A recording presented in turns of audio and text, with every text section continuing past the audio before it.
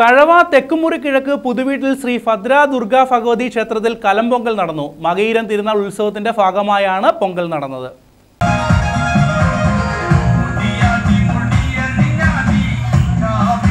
തഴവ തെക്കുമുറി കിഴക്ക പുതുവീട്ടിൽ ശ്രീ ഭദ്ര ദുർഗാ ഭഗവതി ക്ഷേത്രത്തിലാണ് പൊങ്കാല നടന്നത്. മകയിരം തിരുനാൾ മഹോത്സവത്തിന്റെ ഭാഗമായായിരുന്നു പൊങ്കാല നടത്തിയത്.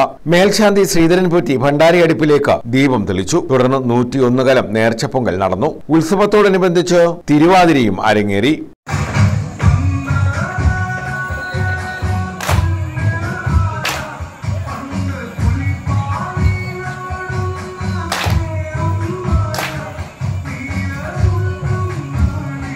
തഴവ വിഘ്നേശ്വര തിരുവാതിര സംഘത്തിന്റെ നേതൃത്വത്തിലായിരുന്നു തിരുവാതിര അരങ്ങേറിയത്.